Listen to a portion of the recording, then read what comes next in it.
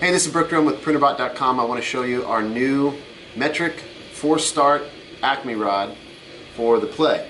Now the nut is similar. It'll be set up for not the quarter inch, you know, English, uh, not metric Acme rod that's in this old play here. But we've done a series of upgrades and this is part of what you can do to improve your existing play.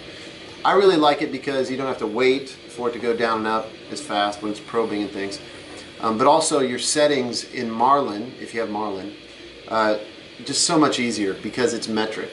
Now, like the new Simple, uh, we've turned down the end of this, so we're including this uh, this little Z coupler that's actually uh, you know straight straight through. I believe it's five millimeters. It's the same size as the NEMA 17 motor. So the end of this is going to be the same size as the motor. It is a it does have a uh, flat on it, so it's a D motor shaft style. So you've got your set screw that locks that in, set screw that locks against the flat on the motor, Acme four start nut, and the proper length for your play. Really nice upgrade.